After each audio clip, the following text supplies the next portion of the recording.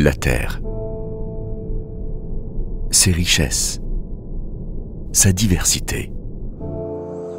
Des milliards d'années d'évolution. Nous sommes là depuis un seul instant. Et pourtant, nous avons déjà changé son visage. Finalement, que restera-t-il de notre passage? Nos actes concrets.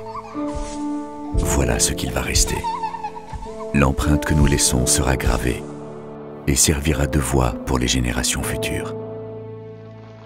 Chacun a dans ses mains une partie du destin du monde. Chacun, dans sa mesure, peut participer à la protection de ce qui est indispensable sur Terre. Aujourd'hui, ce qu'il se passe sous la surface des océans nous préoccupe autant que ce qu'il se passe à la surface de votre peau. L'un comme l'autre, ces environnements sont fragiles et ont besoin d'être préservés et renforcés. Aussi sensibles que votre peau, sous la surface des océans, vivent les coraux.